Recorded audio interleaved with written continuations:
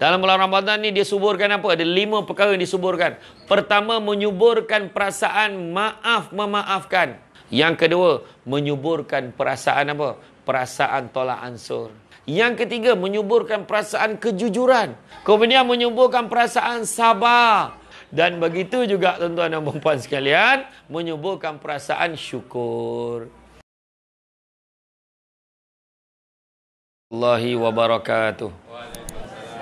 Alhamdulillah Alhamdulillahillazi arsala rasulahu bil huda wa dinil haqqi liyuzhirahu ala dini kullihi. Walau karihal kafirun walau karihal musyrikun walau karihal muslimun. Subhanaka la ilma lana illa ma 'allamtana innaka antal alimul hakim. Rabbi shrah li sadri wa yassir li amri wa hlul 'udatam min lisani yafqahu qawli. Alhamdulillah syukur kepada Allah Subhanahu wa taala. Kerana dengan limpah dan izinnya dapat kita bersama-sama pada malam ini. Bukan hanya bersolat berjemaah bersama kita merasa pula tarawih negeri sembilan punya. Kan? Soga tak mata ke eh?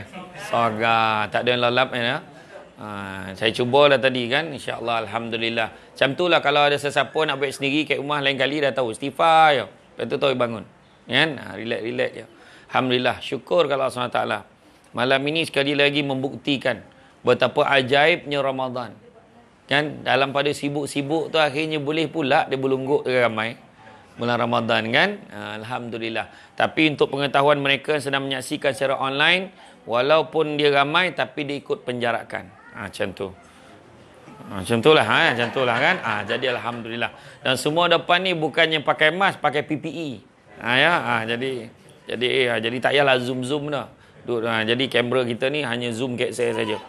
Jadi Ramadan dan keluarga. Ha, itulah dia. Hebat ya kan. Orang sibuk bulan lain. Tak dapat dia makan dengan sama dengan family. Tapi bulan Ramadan dapat dia. Kecuali penceramah. Ha, ya. Tetap dia kena datang ke keluarga orang. Kan? Ha. Ke keluarga orang datang ya kan. Ha, tapi tak apa. Ini anggaplah ni satu bentuk apa? Satu bentuk pengorbanan kita semua sama-sama. Ada orang yang sibuk malam ni dia korbankan datang juga. Alhamdulillah. Sibuk macam mana? Tak boleh lah konon jumpa. Malam ni keluarga kena berkumpul. Malam ni lauk special pula kan? Potluck kan? Masak. Oh, steady. Ha, lauk apa malam ni? Siput sadat dah dah? Kasmilang. Jadi kalau macam tu keadaan eh, makruh lah camah lah lama. Ha, kan, ha, jadi itulah dia kan. Ha, jadi saya memang macam tu. Saya untuk pengetahuan semua boleh kata sangat dua kali je kot. Dua kali dia dapat berbuka puasa betul-betul kek meja. Bukan dengan keluarga tu, kek meja. Kelain waktu tu dalam kereta ya. Nak kerja-kerja balik tak sampai. Kerja-kerja tak sampai. Tapi Alhamdulillah sampai berbuka. Kan? Tapi setakat ni belum terjadi lagi lah. Salah dengan azan. Tak pernah lagi lah. Ha, tak pernah lagi lah kan. Ha, tiga minit awal kau tak berlaku lagi lah. Tak berlaku. Jadi kita diam tak diam kita dah mula masuk kepada uh, menghampiri lah. Menghampiri 10 hari terakhir. Kan? Kita sekarang ni dah malam yang keberapa? Malam 20 dah. Ya Allah. Besok 20 Ramadan lah. Ish, ish, ish. Ayat yang paling mahal sekali. Tiba-tiba. Tiba-tiba dah 20 Ramadan. Tiba-tiba tak habis-habis. Itu tanda nak mati. Itu ya. Tak payah, tak payahlah cakap. Itu tandanya cepat masa berlalu. Tak usah lah. Memang nak mati lah. Termasuk yang bercakap ni. Bukan cakap orang lain. Termasuk bercakap ni. Baru macam baru semalam yang kita ceramah kat tepi swimming pool tu kan. Kat sini juga ke bukan? Sana eh? Sana kan? Itulah saya rasa macam tu. Rasa ni ke ha? Tu rumah dah ada orang pula nampak. Kan? Tapi itulah dia kan. Sekejap yang masa berlalu. Tahun lepas berapa ramai orang menampah. Menampah baju sepapan-sepapan tempah tahun lepas. Melagak dia. Nanti kita pakai, kita tunjuk ke makna. Yang mana nampak baju kita. Wah, sekali PKP padan muka.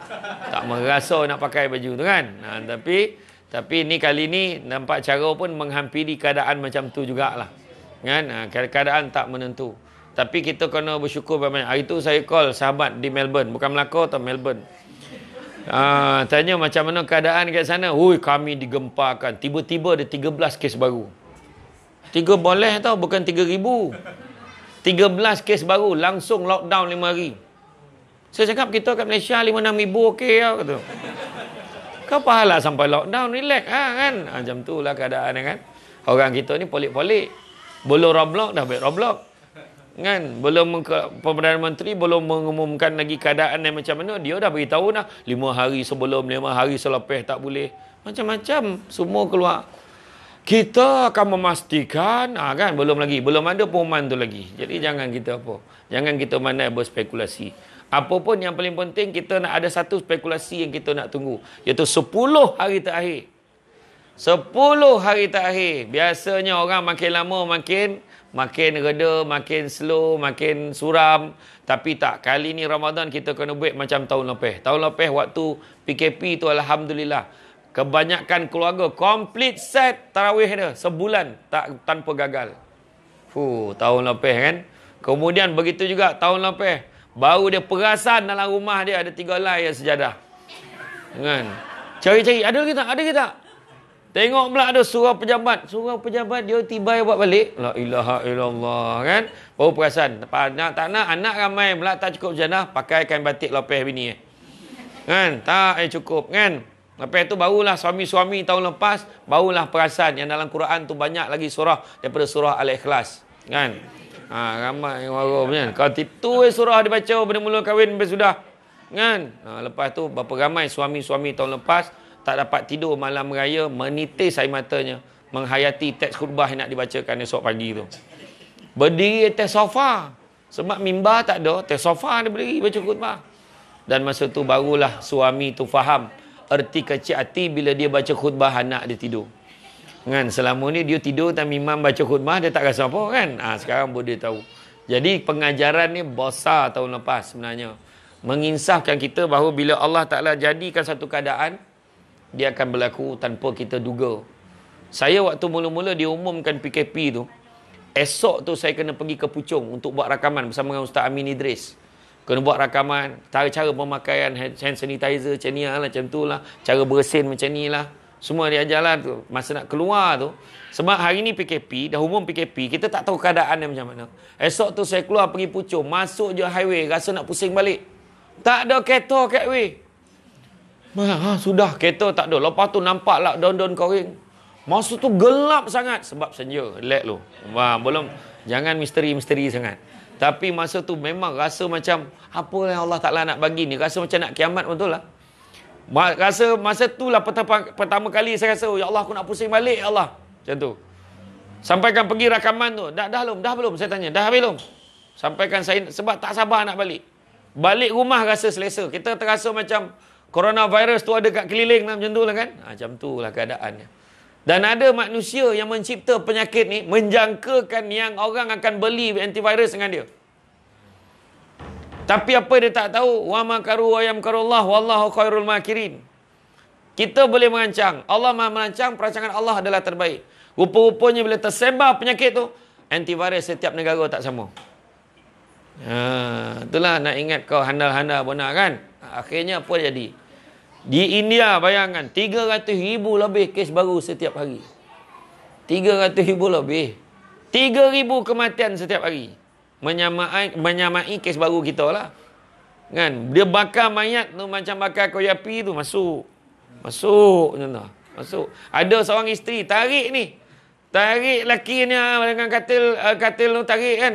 Mana-mana cari doktor mana yang boleh layan ni. Ada dah bergolek, terguling dah. Mati ke hidup pun tak tahu. Macam tu keadaan teruk eh, bila orang tu ingkar. Jadi kita jangan selesa benar. Tolong jaga. Terutamanya kita jaga kita. Maksudnya jaga keluarga kita sudah. Orang lain. Janganlah kita ni sibuk lah. Tu mentori tu boleh. Tu penyanyi tu boleh. Apa sal tu dia artis boleh. Tak salah asyik nunjuk-nunjuk orang ni. Kita jaga diri kita sudah. Kan? Ha, jangan cakap lah ini semua permainan politik apa semua ni. Angka-angka ni tak betul. Tak usah kita main-main tu. Itu bukan hal kita lah. Jangan yang penting kita jaga. Kan? Kalau kita cakap ini semua main benda ni tak betul, kocik hati orang yang dah kehilangan keluarga sebab dia Covid ni. Jadi mana kita jaga cukup-cukup. Hand sanitizer pakai apa, pakai apa yang patut, pakai mask, pakai PPE, pakai helmet. Buatlah apa yang betul. Kan? Iya, cakap betul ni. Cuba tengok orang yang pergi studio tu, yang yang yang host uh, rancangan TV tu, semua semua pakai helmet lah. Kan? Pakai visor. Dia pakai shield lah kan. Ha, ya. Tapi apa pun bulan Ramadan, kita jangan lagi fokus. Kan? Dalam ni hikmah dia Allah bagi kita ruang dan peluang bersama dengan keluarga kita. Bersama dengan keluarga kita, kita suburkan. Dalam bulan Ramadan ni dia suburkan apa? Ada lima perkara yang disuburkan. Pertama, menyuburkan perasaan maaf memaafkan. Ha, jadi dalam keluarga, jangan gaduh-gaduh. Jangan bercakap-bercakap. Ya. Nak baik-baik satu dengan yang lain. Saya dah cakap dalam siri ceramah dekat keluarga ni yang lepas. Dua perkara yang paling mulia tapi susah nak dibuat. Iaitu minta maaf dan memaafkan. Itu satu. Yang kedua, menyuburkan perasaan apa? Perasaan tolak ansur. Kan? Eh, memang tak apa, tak apa, tak apa. Biar aku je masak. Kau duduk je kat depan tu macam tu. Akhirnya semua duduk depan. Tinggal dia seorang yang masak. Macam tu lah kan. Mentang-mentang lah dia masak sadap kan. Ha, tempat ni tidak, tolong-tolong lah. Yang ketiga, menyuburkan perasaan kejujuran. Sebab bulan Ramadan ni, satu-satu ibadah yang paling jujur, puasa lah. Nak test kejujuran, puasa. Kalau kita nampak tadi, Allahu Akbar, ada orang tinjau nampak kita semayang. Oh, dia tengah semayang. Dia tahu, tak payah cerita. Semayang lah, tak payah jawab. Dia, oh, dia semayang. Orang tahu lah. Kan? Kalau dia duduk kat meja tu, salam. Nampak Abang Wahab tu duduk. Salam. Salam, sign. Salam. Bukan sah atau bukan. Dia salam. Kemudian ada tulis, risit kocik, RM7. Oh, dia bayar zakat, tahu. Pakaikan ihram putih. Ramai belungguk depan rumah. Allah Allah Akbar. Allah Allah. Bergegah dia masuk dalam kereta jalan. Oh dia nak pergi umrah, pergi haji. Tahu. Tapi puasa mana tahu? Muka orang puasa tak puasa sama. Betul tak? Jujur. Iya. Kita sendiri uji kejujuran dalam diri kita. Wahal boleh ya naik kereta. Semua masing-masing macam minggau lap nampak eh. Dekat selekoh tu berhenti. Minum air sirap tu habis. Tak ada siapa perasan. Ataupun rendahkan seat sikit kalau tak confident. Tapi kenapa tak buat? Sebab jujur. Nampak tak kejujuran? Kemudian menyuburkan perasaan sabar. Alhamdulillah malam ni sabar nunggu Samsul debat datang. Kan? Ha, kemudian sabar kita ceramah. Walaupun pencamah lu makan lagi. Jadi kita dalam keadaan kan saja bagi hint. Stand by, stand by, stand by. Ha. Dan begitu juga. Dan begitu juga tuan-tuan dan puan sekalian. Menyuburkan perasaan syukur. Bukan semua orang dapat berkumpul macam ni. Kan? Syukur. Mana sama nikmat berkumpul dengan duduk seorang-seorang? Tak sama. Mana sama nikmat duduk tengah dengan bersandar kat dinding? Mana sama? Tak ni contoh. Tak payah beralih ni contoh. Contoh, ha, contoh. Bagi contoh. Tak bagi contoh. Dia tercapek terasa tu masalah tu. Ya, contoh. Eh. Jadi makna kata, makna kata semua tu kita kena syukuri. Kena syukuri. Sebab bulan Ramadan ni sebenarnya membawa kita mengingati tiga perkara. Pertama, kita kena kawal hawa nafsu kita. Rupa-rupanya, ibu pejabat bagi nafsu kat mana? Loket perut. Tu HQ dia. Jadi dengan bila berpuasa sepatutnya lagi sabar. Tapi masalahnya bila puasa ada tiga jenis puasa. Pertama puasa yang sabar dapat kawal hawa nafsu. Puasa yang kedua namanya puasa ayam mengeram telur. Puasa ayam mengeram telur ni dia tak boleh sikit. Ayam mengeram telur tengok tak ke kampung ayam mengeram telur. Kalau kita rapat dengan ayam tu jadi apa? Marah macam marah ni. Tak boleh sikit ada orang puasa macam tu. Jatuh jatuh puyuk ke dapur. Apa tu? Bising aja lah. Lalu depan apa lalu depan ni? Lalu depan tak boleh anak tu tadi. Ha, tadi adik mana adik tadi yang lalu depan saya semayang tadi. Dia pandai timing. Aku nak sujud dia topi. Baguslah dah. Aku dah risau macam pula aku tunda budak ni sekarang. Kan? Ha? kan? Siapa nama adik ni? Siapa? siapa? Mikael. Alhamdulillah. Kan? Ya.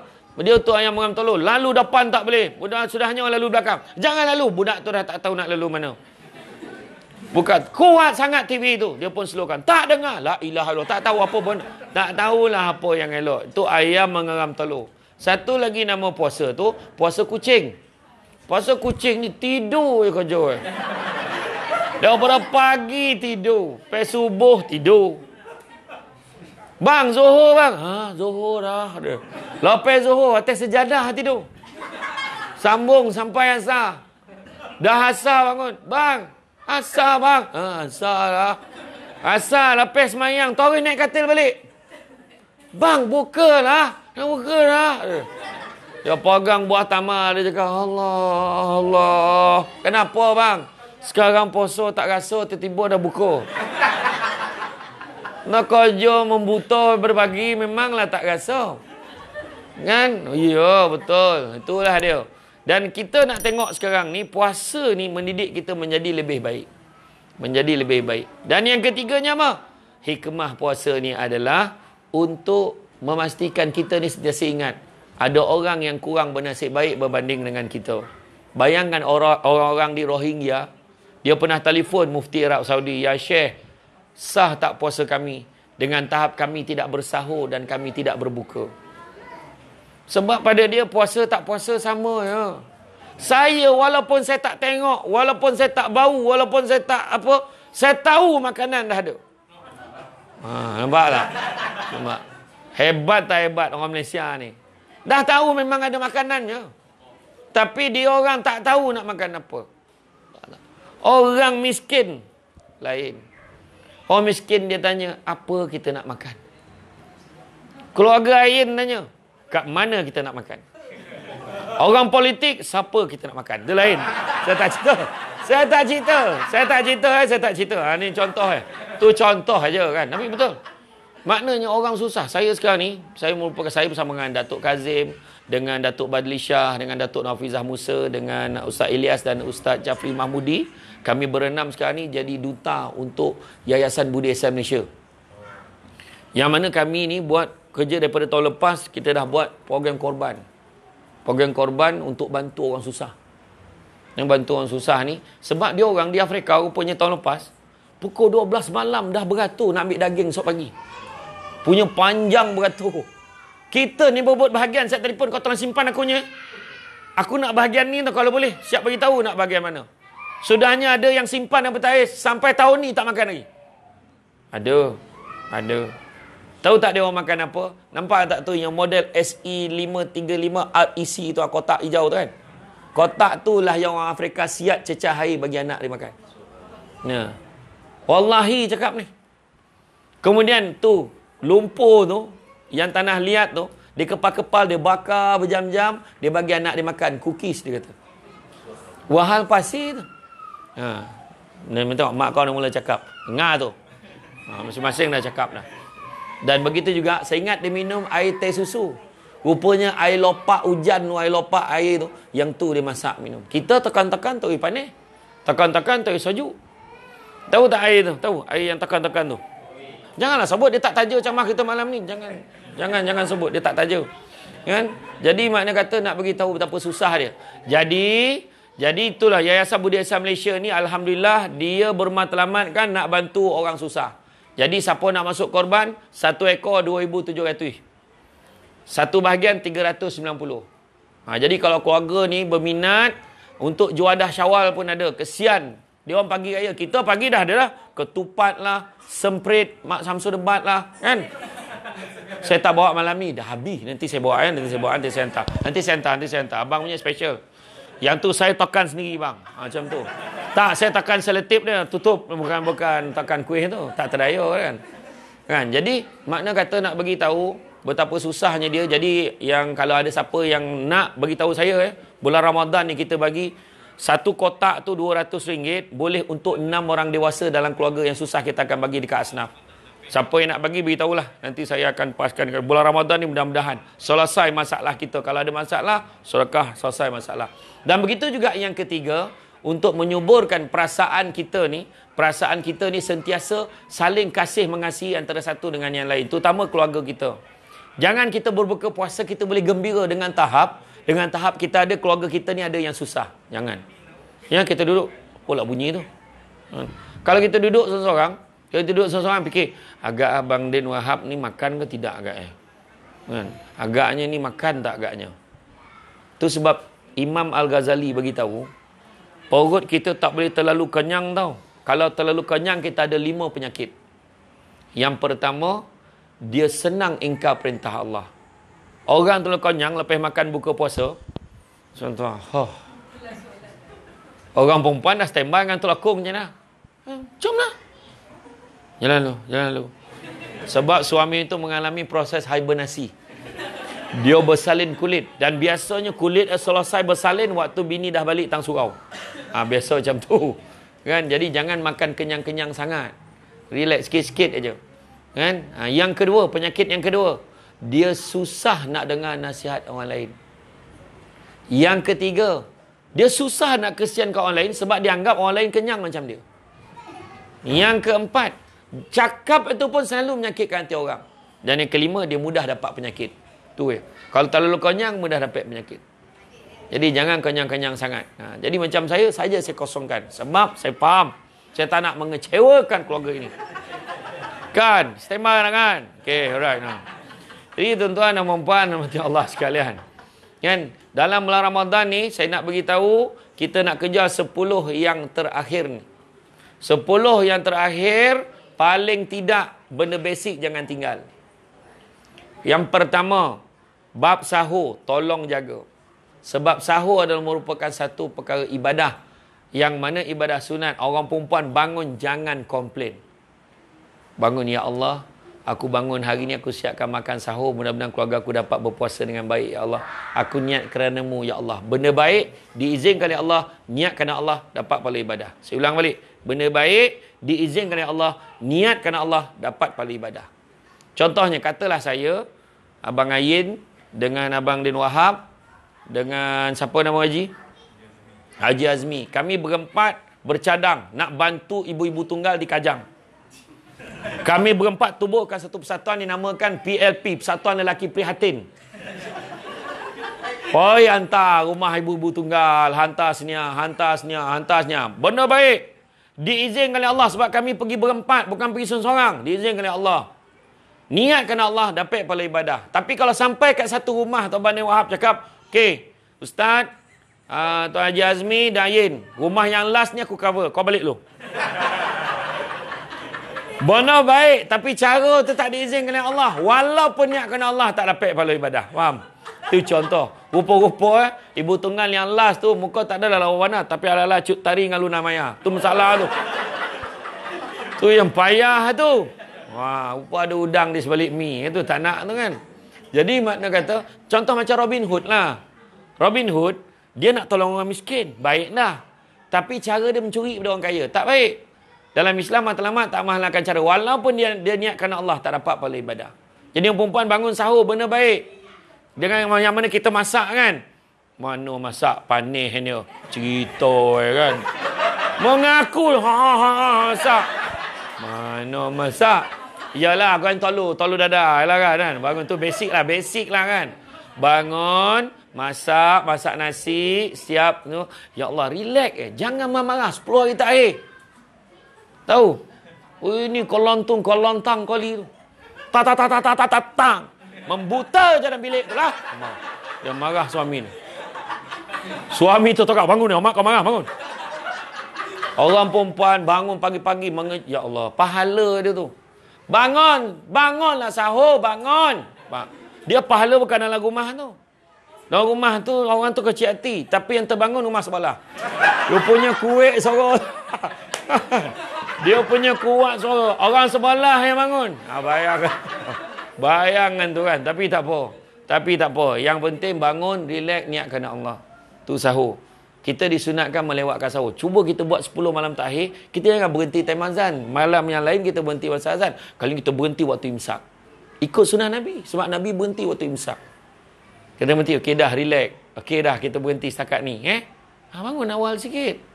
Nampak tak? Ustaz Nabi bangun susah nak makan. Bangun muka macam-macam nak kena tinju. Isteri isteri dia bangun awal. Dia dah sogan ada tanya. Bang kenapa? Baiklah. Mana cakap apa? Cakaplah doktor. Nasi cakap lah nasi. Lepas tu anak dia, kau apa abah ni? Dia pun sama. Tapi cuba bezakan pada malam last sahur. Tengok masing-masing. Hari ni last kita sahur. Wah elok pula dia cakap. Sebab masa tu masing-masing dah tak tidur sangat. Masing-masing fikir nak balik raya, nak fikir nak bangun awal, nak fikir itu macam-macam fikir. Itu sebab kita bangun jangan terus nak makan. Selalu bagi petua ni. Masuk bilik air dulu, mandi dulu. Gosok gigi, segarkan badan. Kemudian ambil wuduk, solat dua rakaat jadilah. Lepas bagi salam, tengok lapar macam mana. Lain dia punya selera makan tu. Ha, jangan kesian makan sahur makanan yang barakah. Jangan sekali-kali kalian tinggalkan. Nabi dah pesan. Pada siapa ahli keluarga ni yang ada bercakap, uh, saya memang tiap-tiap tahun puasa memang saya okey je walaupun tak sahur. So saya tak sahur. Bukan masalah kau okey tak okey, masalah Nabi suruh, faham? Ha, kau pengadangan. Ada yang macam tu. Bangun at least. Bangun sahur. Nabi kata jangan kalian tinggalkan walau hanya seteguk air. Nabi dah pesan. Tapi bantal standby tiga buah tamar. Cawan kat sebelah. Jauhkan daripada gigi palsu. Kau gabung-gabung ngantuk nak copek. Koreh lah kurma tu. Gigi gigit dia. Luka gusi kawan tu. Kan? Ha, jadi tengok. Tu pertama. Sahur jangan tinggal. Kedua, tadarus. Baca Quran. Syahrul Ramadan allazi unzila fihi al-Quran. Dalam tempoh 10 hari ni turunnya Al-Quran sebenarnya. Kan? Ha, jadi kita baca Quran. Ada yang dah khatam Alhamdulillah. Ustaz boleh tak kalau kita nak baca, kita nak buat tadarus online? Boleh. Oh, Ustaz Alhamdulillah ya Ustaz. Dia tengah tanya Ustaz, Ustaz Alhamdulillah. Hari ni saya tak ada salah kan? Rupanya Ustaz tu hang. Lain tak ada. Lain tak ada. Dia ingat dia betul baca ini tak ada salah. Tak ada toggle langsung. Ha, cari line yang okey. Hari tu ada seorang perempuan kata, Ustaz, kalau uh, suami saya kat Sabah, kita mau kahwin. Suami kat Sabah, saya kat KL. Boleh tak kalau kita nak semain jemaah pakai video call? Boleh ke tak? Kalau boleh dah lama semain depan TV dah saya cakap. Depan masjidil haram semayang. Tak ada masjid kau ikut lah. Allahu Akbar. Lah iklan pula dah lah. Macam mana kan? Ha, so semua lah tu kan. Ha, jadi itu. Jadi macam-macam soalan yang tanya ni. Tapi kadang polik-polik. Baru-baru ni ada yang tanya bang. Apa hukum bang tengah hari? Apa hukumnya SD kalau tengah hari saya berkumur dengan air TOS limau? Bangang betul soalan. Itu apa hal lah banyak je air pahit pasal kau cek TOS limau kau nak berkumur? Teruk betul soalan kan. Tapi dia orang tanya soalan-soalan macam tu kan. Ha, tu belum cerita lagi. Ha, budak-budak tutup telinga. Ada soalan yang tanya. Ustaz kita mau kahwin. Lepas tu kita bersama. Tiba-tiba azan. Macam mana eh? Eh jangan golak dia tak kira tua muda tu. Kadang yang tua tu dia tak perasan dia nampak jam tu kabur. Macam sampai Eli nana. Cakap betul. Sekali Allah Allahu Akbar. Ha, masa tu saya dengan Abang Samsul kau dekat Bukit Aman. So, yang tanya tu, dia baru kahwin pun tanya, Pak Abang Samsul ha, soalan ni bagi dia jawab. Pula, pula kau lagi lama kahwin juga kan? Kau lah jawab. Jadi saya agak kena jawab. Jadi saya kata sebelum saya jawab soalan tu, saya nak tahu. Ketika azan tu, dah sudah atau sedang berlangsung? Tak, saya kena tanya. Bos saya boleh jawab. Kalau dah sudah masuk dalam bilik air, kan mandi wajib kemudian gosok gigi mandi macam biasa keluar semayang teruskan puasa cuma ponek sikit lah kan orang lain orang lain sahur kau apa kau kan macam tu ha. tapi kalau tapi kalau sedang berlangsung kalau sedang berlangsung tiba-tiba azan apa nak buat ha. wa wallahu akbar berhenti macam tu ha, kan stop ha, macam tu lah tapi orang lelaki jangan pula Allah Allahu Akbar sikit lagi jangan. Ha. Saya beritahu betul-betul ni betul-betul. Ha, yang tu tak boleh ya bagi faham. Cukup sakat tu. Cukup sakat tu eh. Jadi kemudian apa lagi? Lepas tadarus kita kerja, kita kerja pula untuk satu disebut berbuka puasa. Berbuka puasa Nabi pesan jangan sekali-kali kalian mengutamakan solat daripada makan pada waktu berbuka. Maknanya kena makan tapi bukan makan dengan sungguh-sungguh. Nabi suruh makan aja. Tapi makan mungkin sekadaran, mungkin solat dulu lepas tu baru makan. Melengang kita confident walaupun makan banyak macam mana pun kita masih okey solat. Itu sebab kebanyakan orang yang makan buah tamar dia minum dia solat dulu macam arwah abah saya macam tu. Makan buah tamar, minum air masak, solat dulu. Lepas tu baru makan berat sikit. Berat tu pun dia dah sukat dah. Banyak ni dah okay, cukup dah simpan lauk ni. Ha, jangan dia bantai bertambah-tambah lagi kan. Ha, nanti berat. Eh? Jadi makna kita disunatkan mengawalkan berbuka. Maknanya dah azan bukalah. Doa sikitlah. Allah Allahu Akbar. Allah malaka sumna bika amanna walka aslamna wa ala rizkika aftarna bi rahmatika marhamin walhamdulillah alamin. Makan buah taman minum masak. Salat. Kan? Ha, kadang tu dia donga ya. Donga bunyi mic. Ha, pegang, pegang buah taman, pegang. Tak nak berbuka dah, pegang. Kita jadi yang terawal dekat kajang ni. Lepas tu buat, au, sup kita yang pertama. Punya Allahu la ilaha illa huwal hayyu. Dah talan mah padang. Kan? Allah Allahu Akbar baca doa, makan, minum, pergi solat. Tapi kalau makan buah tamar, minum air masak, lepas tu kita solat, tak khusyuk solat, lagi baik makan. Ha, contoh makan buah tamar, minum masak, Allahu Akbar. Tondongan polocup polocap kat belakang tu. Som, sap. Rupanya anak-anak tengah menganjurkan siput sadut. Uh, sedap lah long. Ha, sedap gila ni. Woi. Yang ayah habislah ni kau. Tak ada tak tidak siput tadi boli tak banyak pula tu. Ya Allah. Hai, tahu masa tak tidak kan. Ha, tu. Kan? Ha, jadi pesanlah kat rumah. Ha, panggil, panggil rumah apa in? Panggil rumah apa? Yang eh? B. B. Ha? Yang. Tuan simpankan siput untuk abang eh. Abang? Siput babi pun dah ni. Ha. banyak siput ni. Banyak risau lah. Ha. Tadi pun beli sikit. Tak ada. Kat rumah memang saya masak lah. Oh ya ke? Alhamdulillah. Macam tu. Jadi semayang relax. Ha. Tak ada benda. Tak payah. Tapi semayang pun tak adalah panjang-panjang. Semayang macam biasa je. Kan? Supaya kita boleh relax sikit. Makan cepat-cepat duduk kat ruang tamu. Kemudian lepas tu. Tarawih. Tarawih jangan kita tinggal. Sepuluh malam terakhir. Dia ada pandangan jumhur kata. Menghidupkan malam tu. Menghidupkan dengan solat. Jadi maghrib. Isyak, tarawih, witir tu buat. Basic paling tidak. Jangan tinggal. Dikatakan bermulanya Lailatul Qadar tu selepas maghrib sampai sebelum subuh. Ha, ya. Tarawih. Ha. Hanya. Kau cari tu imam dah. Gila kau pukul 9 siap tahlil. Wuih. Ya betul. Ya kan? Ha, jangan fikir nak copek ya. ya. Macam tadi tak adalah cepat sangat kan? Ha? Cepat kau? Oh, ya ke? Uh, Tahu tadi slow kan lagi. Okey ke? Saya tengok Abang Ni Wahab. Allahu Akbar. Okey kan? Ha, saya pun okey kan? Kan? Ha, jadi, jadi seterusnya, kita tarawih ni pergi. Ada orang tanya, mana yang elok Ustaz? 8 ke 10, 20?